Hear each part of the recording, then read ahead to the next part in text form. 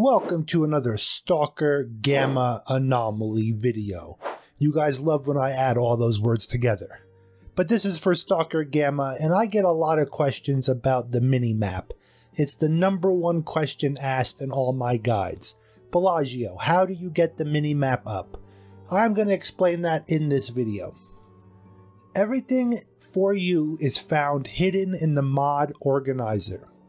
When you start the game up in here, you will see a section, and as of right now in the patch that I'm on, it's more towards the bottom, but this is ever changing and evolving.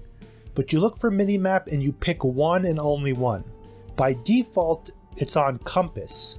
But for the people that want minimap, you would just unclick compass and then click minimap. Some other notable things you could see in this menu and you could play around with this at your own discretion and for your own playthroughs. One of them would be the magazine redux. Under optional, mags redux you would enable this, but you would have to find the gamma unjam reload. That could be in animations I'm assuming. But I'm completely wrong and thank god this menu has a search bar. Down below you just type in unjam and you could see it's under Gamma Fixes, Gamma Unjam Reload on the same key.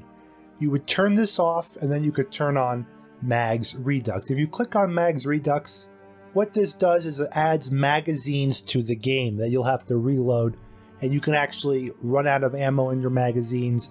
It makes it more like Tarkov. Some people like that, some people don't. Also, if you're a streamer on YouTube, you could disable music in game but not in the main menu, and also not in some areas that have an in-game radio, believe it or not. 90% of the in-game radios get turned off with this, but the one mystery radio in Rostok, where duty is, up in the bell tower, for some reason that thing just plays like a loudspeaker. Other things in here would be if you don't like the trading system in Gamma, you can click Trader Overhaul and this makes it where the traders are pretty much more like anomaly. And you can also go the opposite direction of the pendulum and click Trader Destockify. This makes it even more gamma-ish. Shrinks and randomizes trader stocks. Death animations, and the little sub note here is if you like shooting extra ammo on dead people, click that. Iron Man roguelite for easier Iron Man lovers. You might want to try that out if you like Iron Man runs. One of my favorites to uh, activate in here is this one, new item highlight. What this does is any item you pick up off the ground, off a body, it will highlight in your inventory so you can see what you just picked up. That's a great one. Down below optional there's good add-ons with issues and bugs. This is if you want to try some extra stuff in the game. They have a whole expansion for duty with with more dialogue, more missions, but there's a lot of issues with it. Quick companion teleport, teleport rescue mission targets. I'm not quite sure. You might want that if the mission is glitched.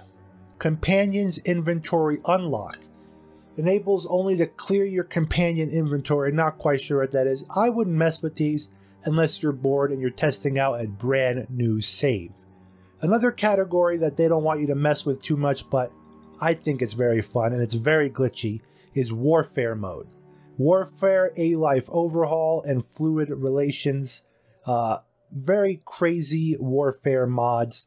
Warfare basically is more working an Anomaly than Gamma, but it makes it where the entire world AI is simulated, the factions themselves wage war with each other, territory gets captured. You know, one playthrough, you know, duty might come through and take over the south, or the military might come through and take over the swamps. It's very crazy, very fun. Definitely everyone should experience it, but in my opinion, keep that for anomaly only, or again, brand new saves if you just want to have fun in Gamma. And then the other thing you're going to want to play with is the Gamma fixes. In here you can find some random bug fixes and stuff if you're having issues. Mags buyable at traders, you want to turn that on if you're using magazines for sure.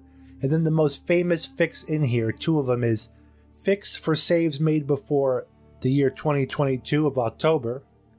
But really this one, turn this on if you stutter. I haven't had to use this in a while. If you do have stuttering issues beyond my performance guide, you'd want to turn this one on. Going back to the mini map. Now that you have the mini map turned on, maybe you want to move it around your screen. I get this question a lot. How do I move the mini map? Yours is in the top left corner, bottom left corner, wherever I have it. You want to know where to move it. In older versions of Stalker Gamma, the minimap used to be a square and you could move it around the screen.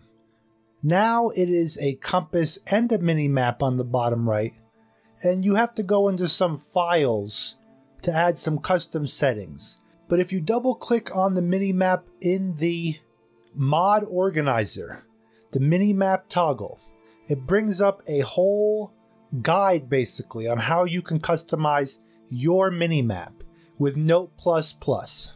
You can make it bigger, smaller, more transparent. Again, the best advice I could give is to ask people in the Discord. They will be able to help you. Let me know in the comments down below if this helps.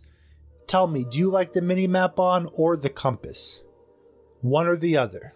And hit that thumbs up button and subscribe for more great content. Thank you for watching.